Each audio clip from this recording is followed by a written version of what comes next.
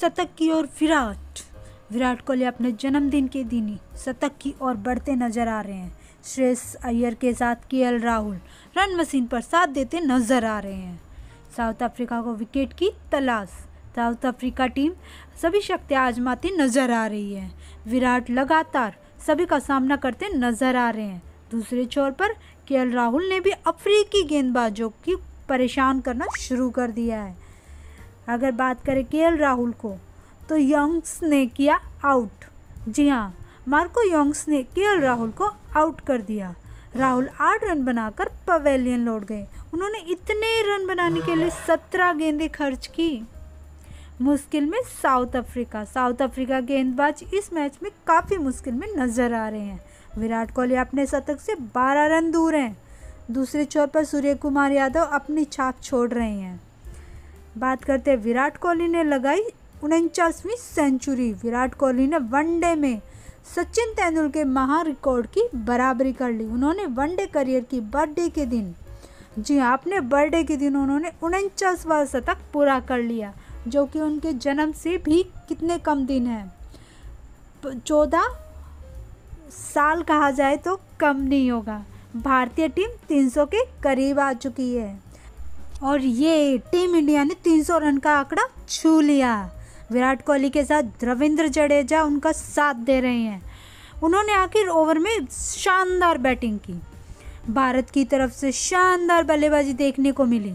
विराट कोहली के शतक और श्रेष्ठ करैयर की सतहत्तर रन की पारी की बदौलत भारत ने साउथ अफ्रीका के सामने 327 रन का लक्ष्य रख दिया। बात करते हैं भारत ने। भारत में शानदार बल्लेबाजी देखने को मिल रही है। विराट कोहली के शतक और श्रेष्कर अय्यर की सत्तर रन की पारी के बदौलत भारत ने साउथ अफ्रीका को 327 रन का लक्ष्य ऐसा रखा, जिससे शायद साउथ अफ्रीका तोड़ ही नहीं पाएगी। देखते हैं क्या होता है। बल्लेबाजी ने किया कमाल, गेंदबाजों पर नज़र। भारतीय टीम के लिए विराट कोहली ने एक और शानदार यादगार पारी खेल डाली। रोहित शर्मा ने धुआंधार शुरुआत दिलाई तो सूर्य कुमार यादव हो या रविंद्र जडेजा। तूफानी बल्लेबाजी करते हुए पारी का अंत कर दिया। और इसी के साथ हुआ टीम इंडिया की विकेट बैटिंग की एंडिंग। टीम इंडिया ने पाँच विकेट के नुकसान पर साउथ अफ्रीका के सामने 327 रन का लक्ष्य तो रख ही दिया। क्या इसे साउथ अफ्रीका पूरा कर पाएगी? मोहम्मद सिराज ने इस भारतीय टीम को साउथ अफ्रीका के खिलाफ बहुत बड़ी कामयाबी दिलाई। टॉप फॉर्म में चल रहे ओपन क्लिंटन डिकॉक को सिर्फ़ पाँच रन के स्कोर पर वापस लौटने पर मजबूर कर दिया। सिराज बुमराह की कसी गेंदबाजी। भारतीय टीम के जसप्रीत बुमराह और मोहम्मद सिराज की जोड़ी ने एक बार फिर से विरोधी टीम के खिलाफ कसी गेंदबाजी का ऐसा दबाव बनाया। पाँच ओवर में साउथ अफ्रीका की टीम ने एक विकेट गंवाकर मैच सत्रह रन ही बना पाई वो टीम।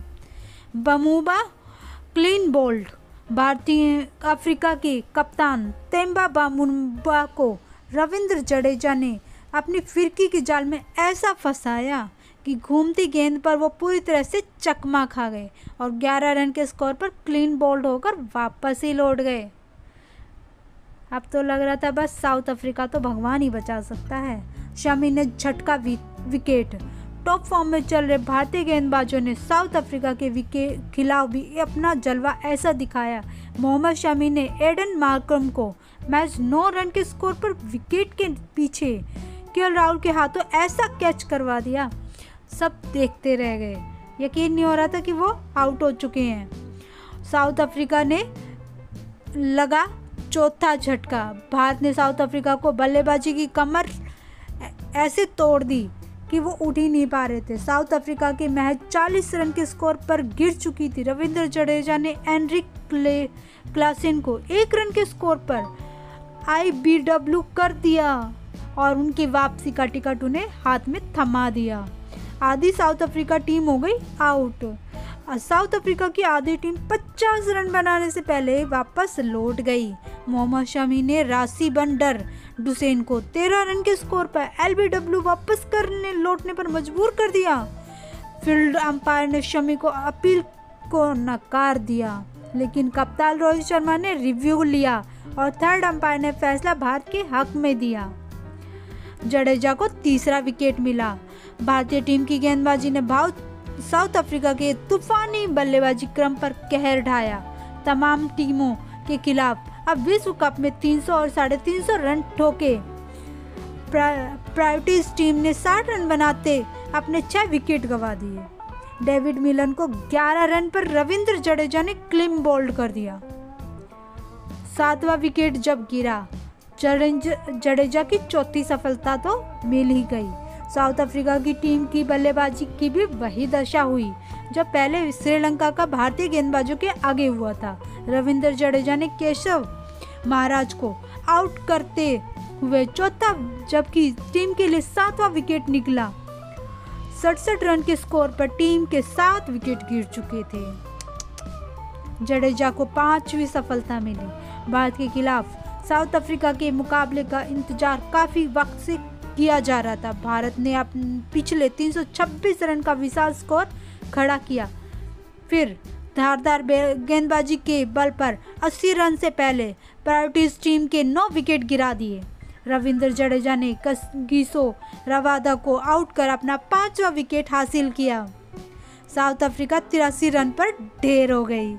भारतीय टीम की गेंदबाजी ने एक बार फिर से ऐसा धमाका किया, श्रीलंका को पस्त करने के लिए। साउथ अफ्रीका की खतरनाक फॉर्म में चल रही टीम को भी मैच तिरासी रन के स्कोर पर ढेर कर दिया। टीम इंडिया ने 326 रन का ऐसा स्कोर बनाकर खड़ा किया कि 343 रन की बड़ी जीत दर्ज कर ली।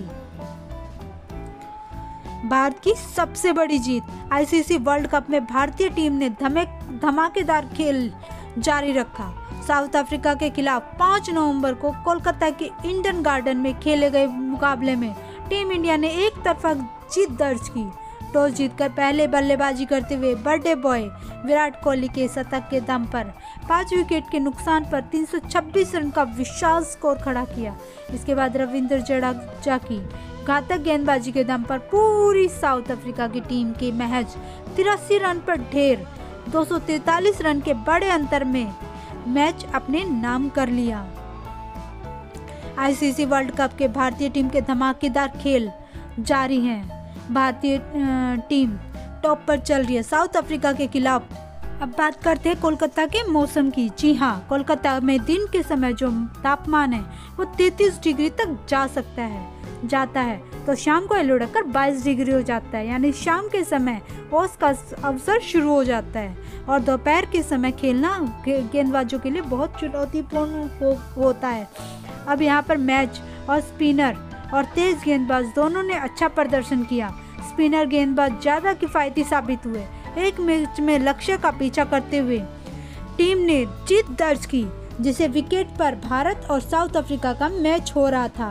पिच रिपोर्ट के वक्त रवि शास्त्री ने इसे लेकर कहा कि एक छोर से विकेट बैटिंग के लिए अच्छा होगा, जबकि दूसरी ओर से स्पिनर गेंदबाजों को मदद मिलेगी। दक्षिण अफ्रीका ने सात में से छः मैच जीते, जबकि भारत ने सातों के सातों मैच जीते। ऐसे में साउथ अफ्रीका भारत के लिए विजय रथ को रोकना चाहता है। था, इस विश्व कप में पहले बल्लेबाजी करते हुए दक्षिण अफ्रीका ने चार सौ अट्ठाईस, तीन सौ ग्यारह, तीन सौ निन्यानवे, तीन सौ बयासी, तीन सौ सत्तावन रन बनाए। यानी पांचवी बार तीन सौ रन का प्लस पॉइंट का आंकड़ा पार किया। हर बार अफ्रीकी टीम ने सौ रन से अधिक की जीत दर्ज की।